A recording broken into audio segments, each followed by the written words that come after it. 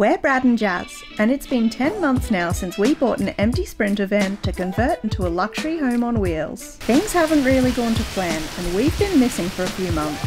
So, to catch you up, we've cut a lot of holes in our van, Yep.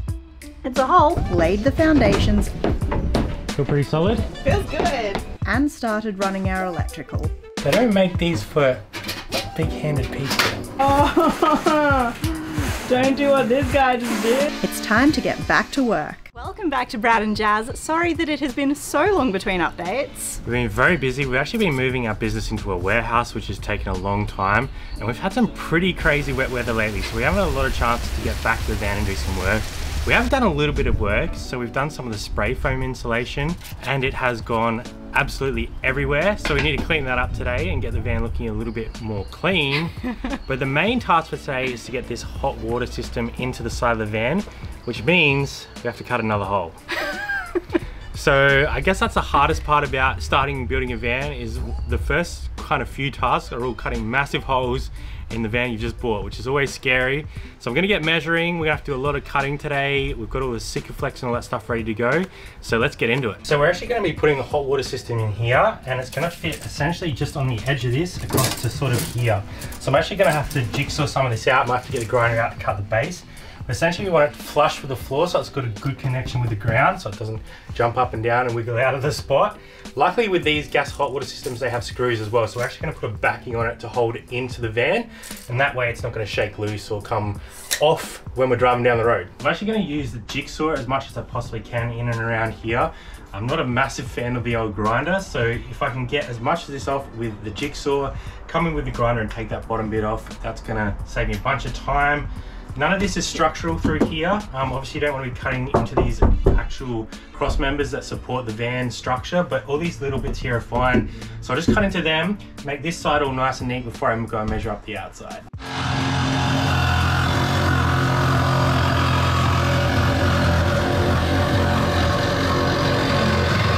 So I'm actually probably gonna have to put these baseboards in. I don't want to cut into this layer right here.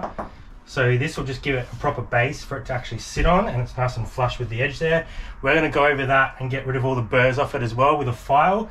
And then we'll start prepping the outside ready to slide it on in. And in the meantime, I'm going to be cutting all of this gunk back to flush. One little tip for what not to do. Been a while since we originally put our foil board in, and while we've been using the van for other things, it has gotten some little tears in it, which is pretty much what you don't want from your foil board. So if you're using this product in the future, remember, cover it up quick before you get any damage. Okay, I've just made myself a little template for the hot water system.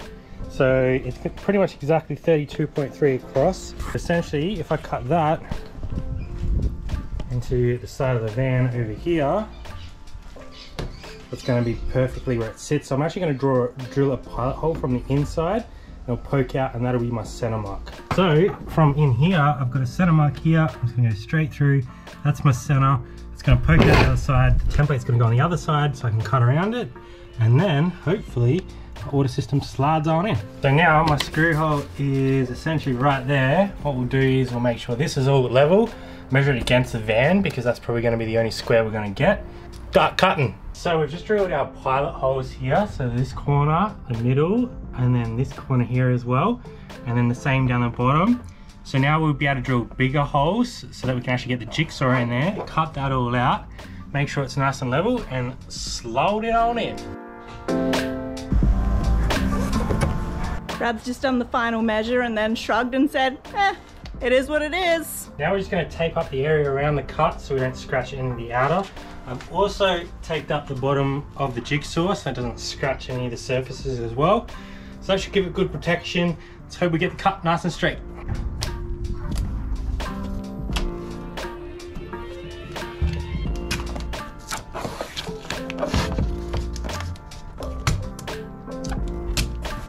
While since we last cut a hole in this van, but uh, this guy is like casually confident.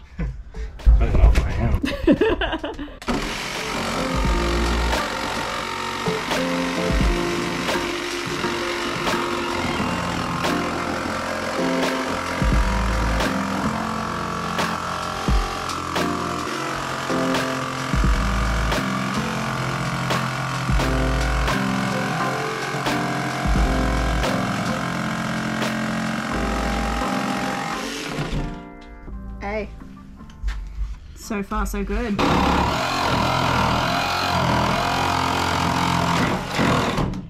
Hey, buddy! Hi. Yep, it's a hole. What's the chances we got this right the first time? I'm going with about 3%. What do you guys reckon?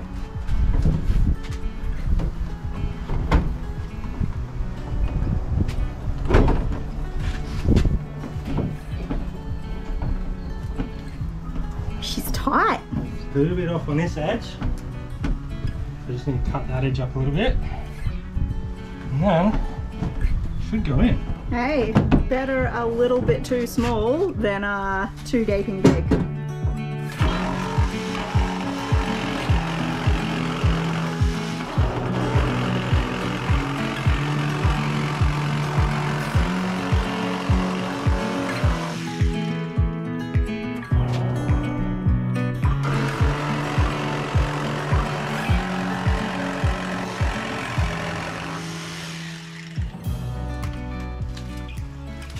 Here we go in real time. No cuts. Take two.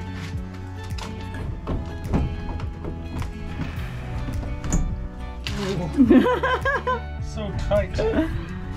I've got the width pretty much spot on. Just that top, I'm gonna cut probably a bit off there. A little bit more here. She's gonna fit like a glove. Oh, she's in.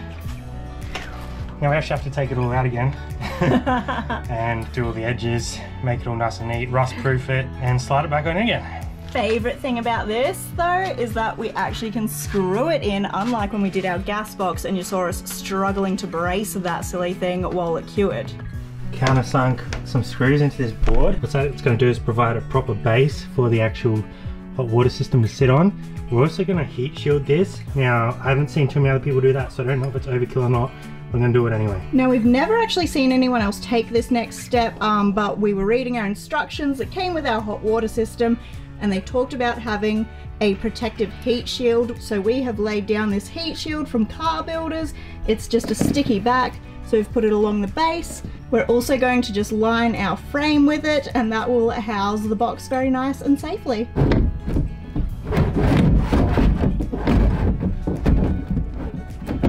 Okay, so I've just pre-drilled all of these. Now we're going to go Sika all the way around. We're going to have to build it up heaps on the sides here because there's big gaps there. Unfortunately, these don't contour to the van as well as the gas boxes do. So we're going to Sika that, then we will screw them in. There's going to be wood on the back to pull it all together and hold it tight, which is going to be great. We don't have to shove a bulk amount of wood in here to try and make it set.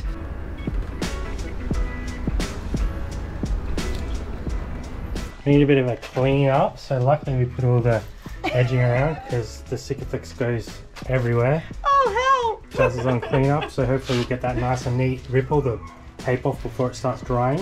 So we get a nice neat edge. Oh dear. Look, this top bit just needs one little uh, wipe. But what happened here? Alright, back to it. Jasmine has the hands of a surgeon. I have the hands of a shaky old man. So Well, don't look at this side. starting on this side, but this side over here is done and that looks really good. What's harder, cutting holes or trying to use Sikaflex? Sikaflex. All right, we're gonna let that dry. We've got tomorrow for it to dry and we've got some good weather, which is great. Then we'll be able to put the front on it and essentially that'll be it. It's done. The only other thing we have to do is put like a little support beam on the inside just so it doesn't shake around. But from the inside, it is not moving. So I'm very happy with how that's turned out so far. It is dried, which is nice. It will dry a little bit firmer over the next couple of days, but we've left it overnight. Let's see the moment of truth if this actually goes over top and how she looks. I'm pretty happy with that. And she ain't moving at all, so she's in there nice and tight. To secure this in, we've got one frame that we made for the back here for the screws to go into, and then we also have one around the box to prevent it from bumping around. We do not want anything moving while we're driving. And instead of cutting it further into the van floor, we've actually decided to make this a little platform to raise it up, and this is secured to the floor. That went pretty much as good as we could have hoped for, and we're so glad to have the last big hole cut out of the van. So join us again next time because we get to move on to framing.